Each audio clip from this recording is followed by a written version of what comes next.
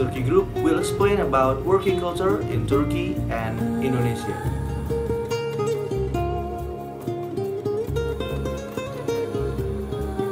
For foreigners working in the tourism industry. Second, underage can work in home industry and even industrial industries.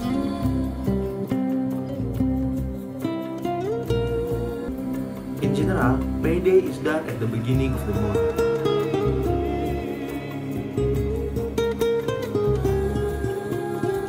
Office worker generally work from 8 a.m. to 5 p.m. or 9 hours per day. Shops are normally open 9 a.m. to 7 p.m. every day including weekend. There are already many companies that equate gender. There is a 24-hour convenience store every day. Now, I will tell you about the difference between working time in Indonesia and Turkey. For the first, I will tell about Indonesian working time.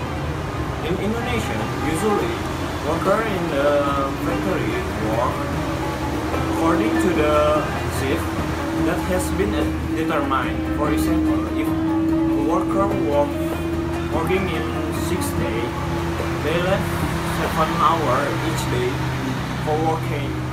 Next, I will tell about Turkey working time.